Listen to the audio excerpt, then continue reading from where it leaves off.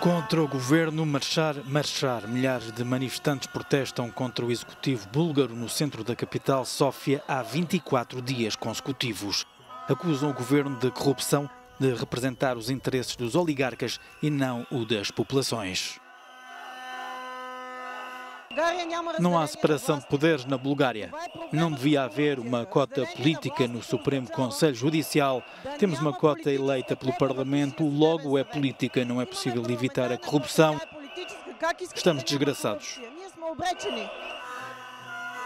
Os manifestantes acamparam no meio de três artérias principais de Sófia, provocando caos na cidade. Mais ainda, a autoestrada que faz a ligação com a Grécia também foi palco de uma manifestação, pelo que o acesso foi interrompido a 120 km a sul de Sófia, junto a Blagoevgrad. Os protestos eclodiram depois de ter sido publicado o vídeo em que mostra um líder da oposição a ser obrigado pela polícia a retirar-se de uma praia usada como espaço privado por um político influente e controverso.